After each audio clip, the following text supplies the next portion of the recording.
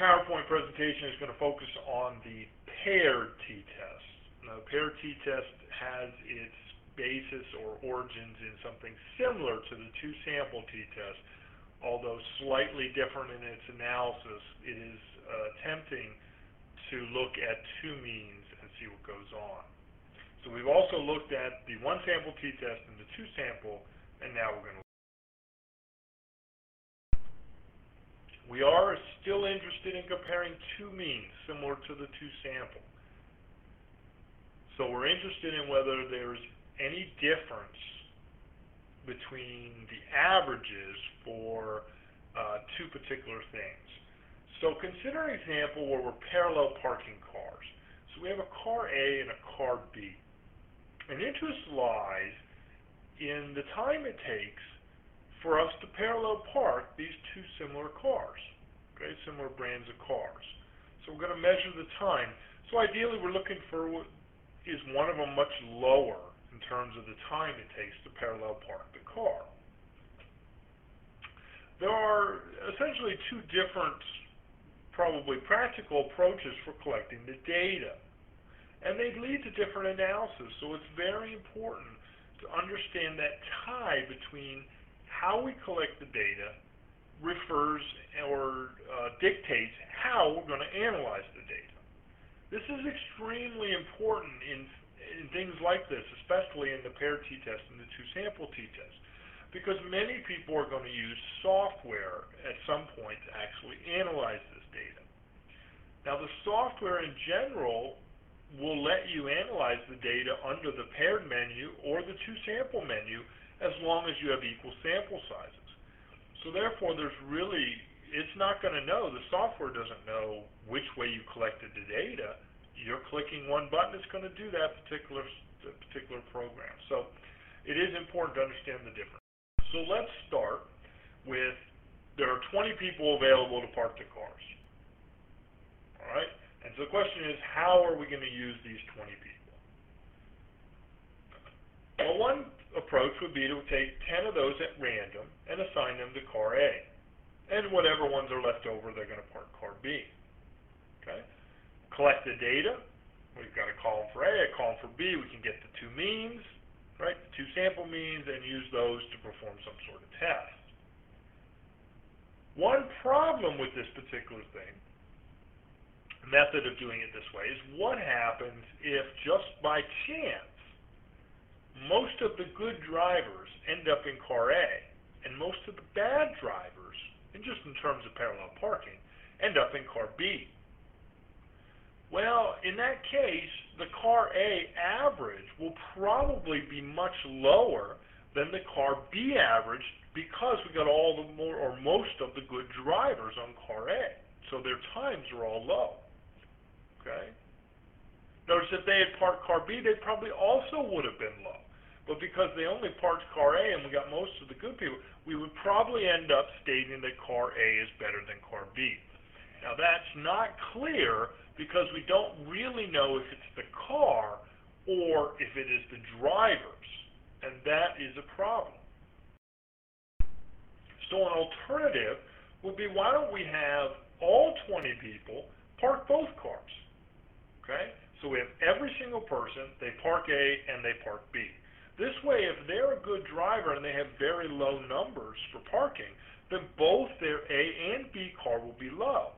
And then, if they're a bad driver, somebody's a bad driver, then both of them will be high. So they'll be affecting both A and B by their driving ability. This way, we'll feel more confident in when we, when we go to analyze the data that we're not so concerned about the drivers that we can focus just on what's the impact of the car.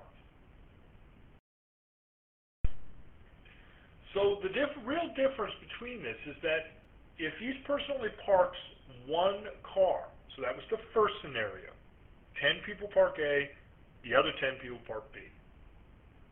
Their recorded time is independent of the other drivers. So let's suppose I park, I'm the first person to go and I park car A.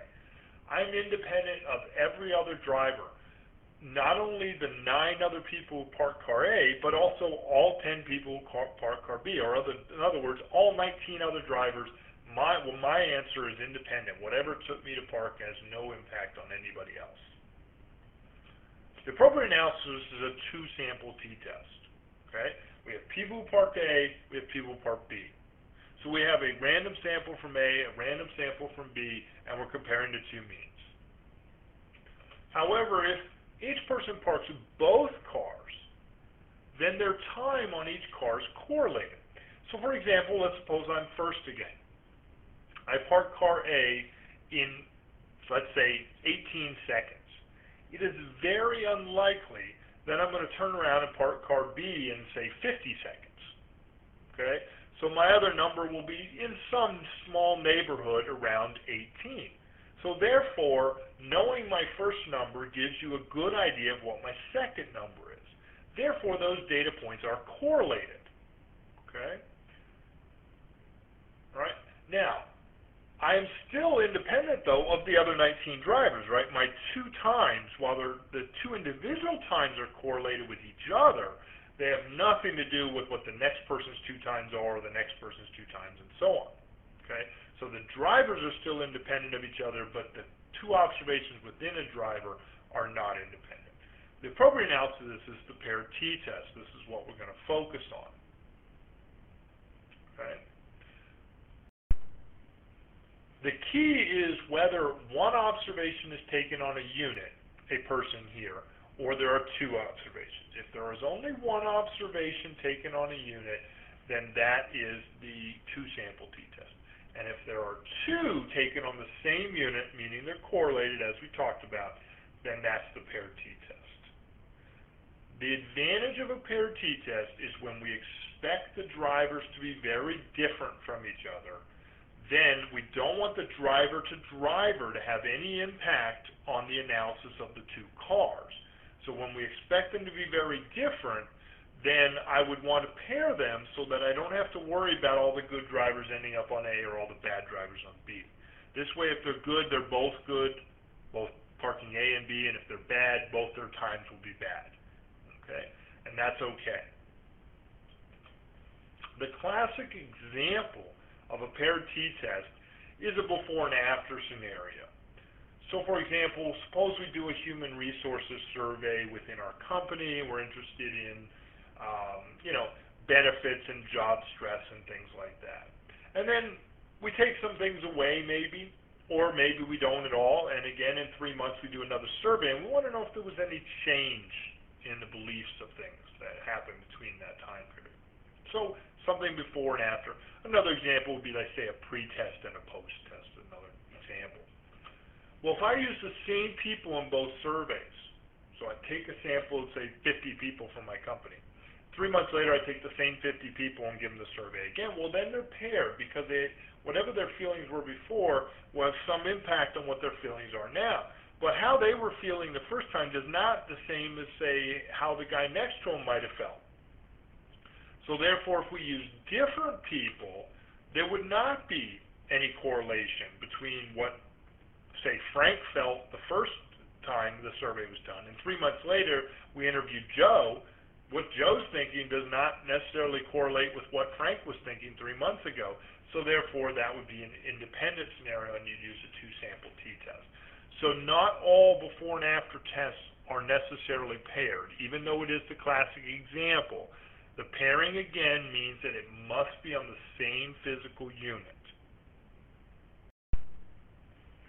So let's return to our parallel parking example and follow that all the way through our five-step procedure for the hypothesis test, as well as a confidence interval. So the question is, how should we carry out the experiment in general? We've decided that each person is going to park both cars. We have 20 people, and each person is going to park both cars. But there are some other questions of interest. For example, should all the drivers be of similar ability?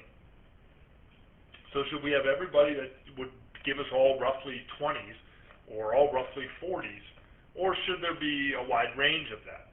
Well, the answer to that, of course, is no. The drivers should not be of the same ability uh, because what is the focus? The focus is to sell the car to everybody. So if we're trying to sell the car to everybody, then we should have some good drivers and some bad drivers and some medium drivers because that reflects reality of who's going to buy the car. Plus, the advantage of doing the pair paired t-test, as I mentioned earlier, is that the wider the range of the driver ability, then the bigger advantage to doing a paired t-test. If the drivers are all very similar, then we can then it doesn't matter when we randomize 10 to sample 10 to car A and 10 to car B. It's not really going to matter who goes where because they're all similar abilities. So in that case, we could do a two sample t-test if we were could, were assured that they were basically the same ability. Should every person park car A first and then car B second? That's how my little picture was. I didn't do anything different when I showed the original setup. I had all the A's in row one and all the B's in row two. Well, the answer to this, of course, is no as well, right? Because in general, we, we would not want to do that because of some, maybe some time effect. Here, we're, we're worried about learned effect, especially. If I get in and park the car A, and, and I and I know I, well, I cut it a little sharp or I took it a little wide, so it took me a few extra seconds to get in because I had to adjust to that. Well, when I get in park the second car, right, I'm going to be able to help correct from that. So I'm going to learn from my first mistake. So therefore, that's going to make car B, if I do B second, a little bit lower probably, regardless whether the handling ability, just correcting my own mistake. So we want to make sure we don't do that. So we want to randomize so that some people that learned effect is going to make B look better, and for some people it's going to make A. So we still want to probably take half the people at random and have them do A first, and half the people uh, do B first. Should we alternate drivers on each observation? So again, two classic ways you would carry this out. If I'm driver one, I park car A and then I park car B. Then driver two comes and I go back to work or wherever I'm going. Person two comes up, maybe they do B first and A second, and then they leave. Or I could park car A and then go sit down for a while, and somebody else parks car B, and somebody else parks B, and somebody else parks A, and so on. And then later I come back up and park my other car, whatever the second one is for me and the second one for each person. Should we do that? Well, from a pure randomization point of view and statistical point of view, yes, because again, we're putting more time to get rid of that learned effect in there so that we get a better idea of just the car and, and get rid of that learned effect. Now, it's not as important as step two because step two is going to balance that learned effect out half the time on A and half on B.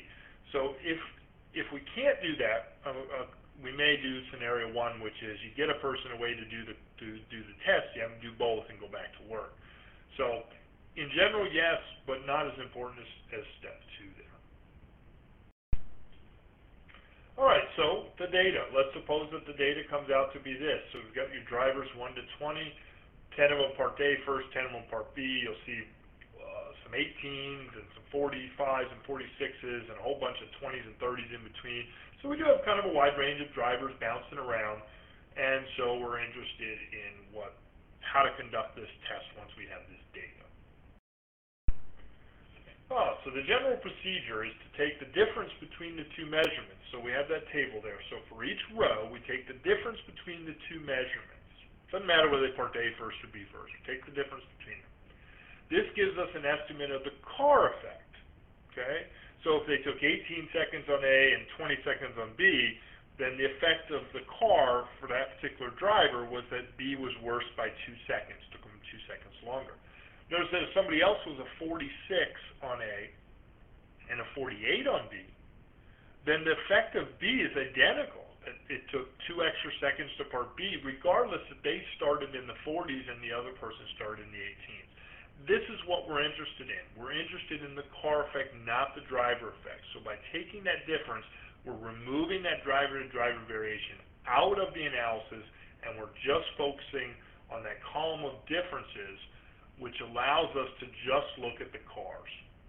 So if there's really no difference, right, nothing going on at all with the cars, then the average of that column of 20 differences after we subtract, right, should be near zero.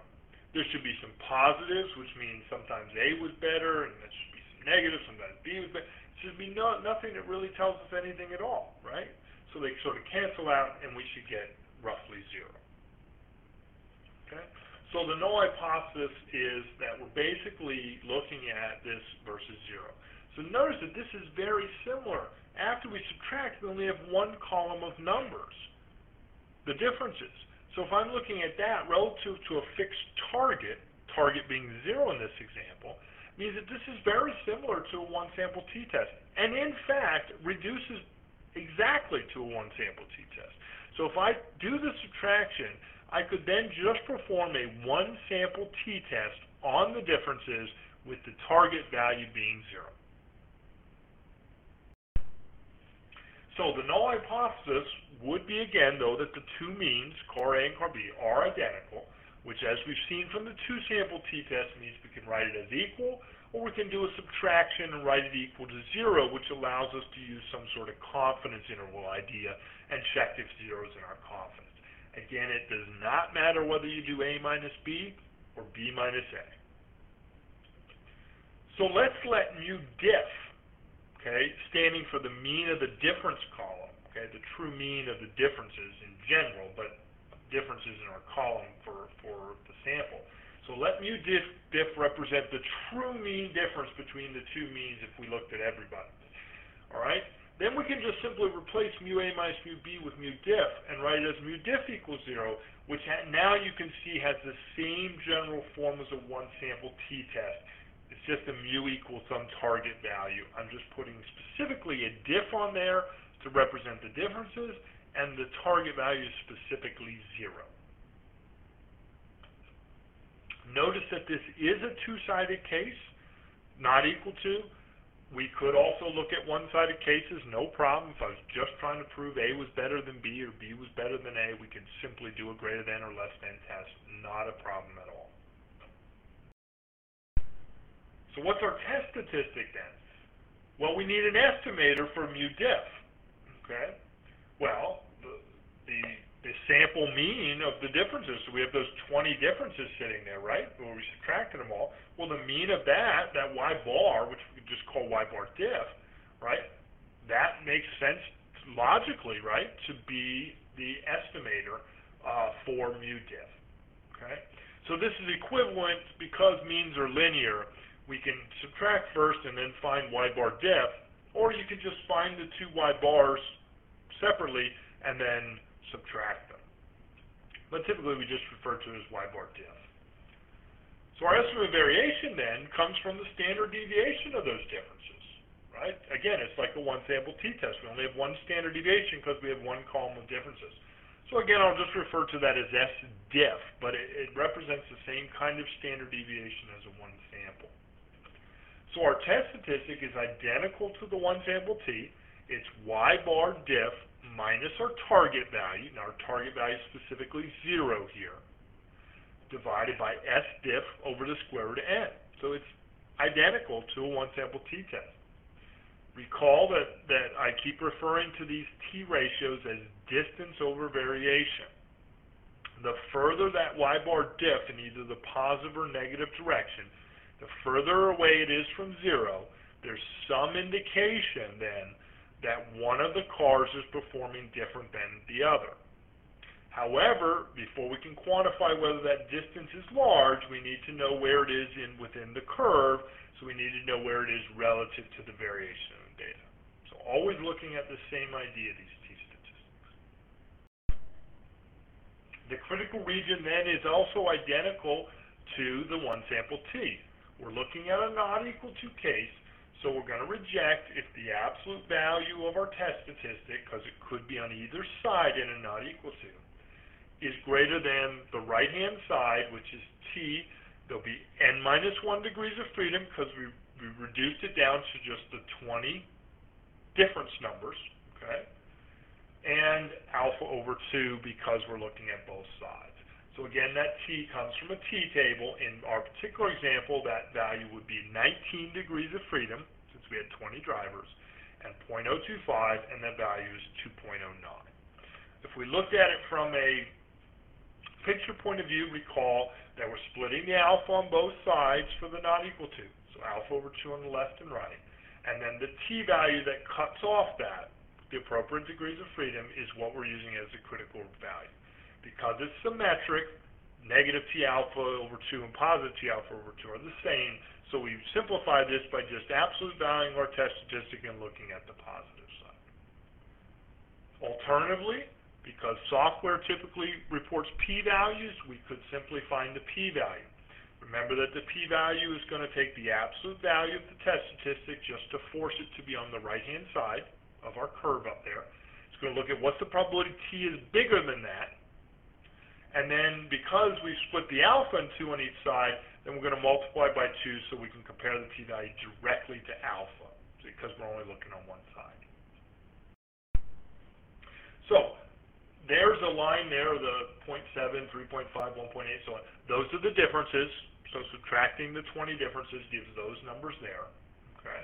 So the test statistic then is the average of those 20 numbers divided by the standard deviation of those 20 numbers over the square root of 20 so plugging all that in yields 2.29.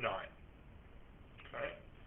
So recall that the t-value actually has a, is, has a meaning. It's not just a flat number, 2.29. It represents that basically our y-bar diff uh, is 2.29 standard errors away from the target value of 0.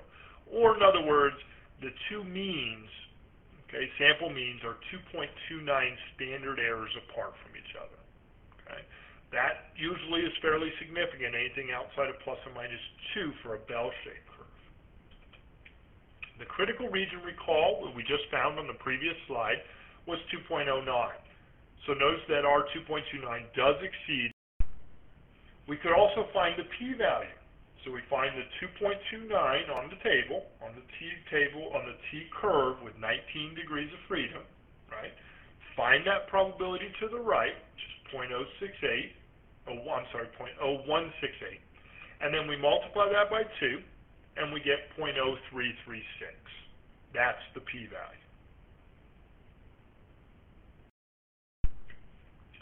We could also calculate a confidence interval. Usually talking about a 95% confidence interval is identical to the one sample t-test because as we've said earlier, everything reduces down in this example. So it's y bar diff Remember, confidence are estimator plus or minus table value for confidence times uh, variation estimate. So we get y bar diff as our estimator. The tn minus 1 alpha over 2, or the same 2.09 from our critical region, is the table value. And then our estimate of variation is s diff over the square root of n. So plugging all those same numbers in, we get a confidence interval of 0.017, say, or 0 sorry, 0.17 to 3.76. So what this is saying is that we're 95% confident that the difference between those two averages it could be as little as 0.17 or as high as 3.76. Okay? These are probably in seconds, so that refers to seconds. We could check to see if this interval contains zero because remember, what we do with a confidence interval to relate it to a hypothesis test is we check if the target value is in the interval. You can see that zero in particular is not in the interval. So what's our conclusion? Well, since since 2.29 is greater than 2.09, or the p-value of 0.0336 is less than 0.05, or the fact that mu diff equals zero is not in the confidence interval, we would reject the null hypothesis. Or we would have sufficient evidence, we could say that there's sufficient evidence to show that the true mean time, parking time, is lower for car B than it is for A. The reason for this is recall that the confidence interval was all positive and we did A minus B. So that means the A numbers are bigger than B, we actually want low numbers here, so therefore B is better. The assumptions would be the same as the one sample t-test. Random sample, and the differences, because we're only analyzing the differences, our assumptions on the differences, the differences follow a normal distribution. You can see that there's a probability plot. Most of the dots are following very close to the line where the line represents the normal distribution. So you should feel fairly confident that normality is not a problem. It is important for the practitioner to understand that the appropriate analysis for this is a paired t-test. Because as I mentioned earlier, it is easy to take the same data and dump it into a two-sample t-test in the software program, and the software program would easily go ahead and say, okay, I'll do a two-sample t-test if that's what you want to do. The p-value, if you do that, the p-value comes out to be 0.408. Notice how much larger that is than the p-value from the paired t-test, which is 0.0336. Okay? The reason for this is that the the top of the t-statistic from a paired t-test and a two-sample t-test is identical. Okay? We're just talking about means and the linear functions, so they are identical. The difference between the two is the variation estimate in the bottom. Okay? The variation estimate in the paired t-test is removing that driver variation, right? We subtracted and just looking at the differences, so we removed the driver. The variation estimate in a two-sample t-test is looking at each column separately, which is saying is looking at driver variation as well as car variation. So we're looking at those 18s and 40s and looking at that variation instead of subtracting the difference. So therefore, the variation estimate is typically much larger in a, a two-sample t-test than a paired. So you end up with this non-significant test using the two-sample and a significant test from paired. They will not always lead to opposite conclusions, but in this particular example, we get very different conclusions. Okay? Because the driver-to-driver variability was very large. Again, the smaller driver-to-driver variability is, then the, the less difference you'll see between these two analysis approaches. But again, the way you collect